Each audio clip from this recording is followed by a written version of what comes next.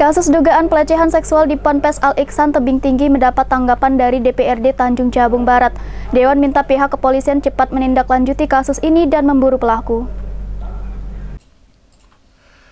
Kasus dugaan pelecehan seksual yang diduga dilakukan oleh oknum pimpinan Pondok Pesantren Al Ihsan sangat disayangkan oleh anggota DPRD Tanjung Jabung Barat.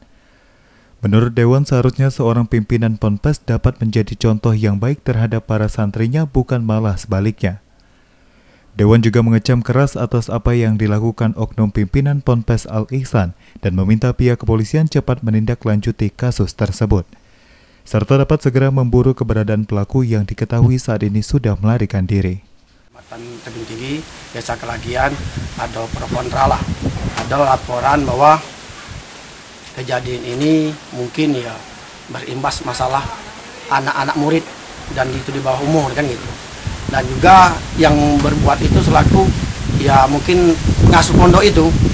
Nah dan juga sepengetahuan saya saya dapat informasi ya turun langsung dari mungkin dari Tungkal langsung tuju ke tebing tinggi.